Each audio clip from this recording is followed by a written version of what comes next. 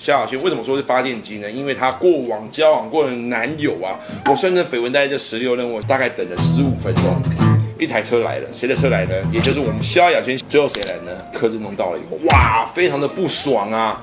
这个爆料，明星还没到之前，竟然我们人先到，那肯定就是放消息嘛。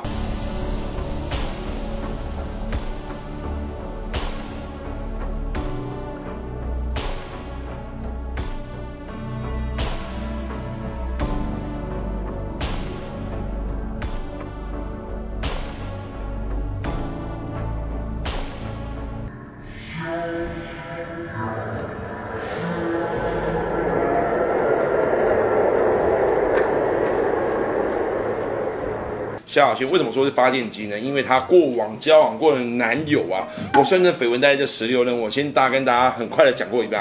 有祝凡刚、荣成汉、王阳明、田馥甄，还有白子轩、李安卓、毛嘉恩、李威、周汉豪、梁耀基，好，还有刘德祖、陈华、黄靠柯震东，还有最后的石正祥。直到狗仔队到了以后，大概等了十五分钟，一台车来了，谁的车来呢？也就是我们萧亚轩萧姐的车来了。最后谁来呢？柯震东到了以后，哇，非常的不爽啊！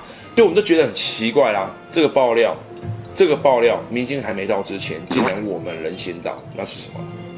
那肯定就是放消息嘛。这个人非常会操作媒体，非常非常会操作狗仔队。为什么呢？因为萧亚轩在那个时候就没在发专辑了，他能依靠什么？他只能靠他的恋情，就是维持他的热度。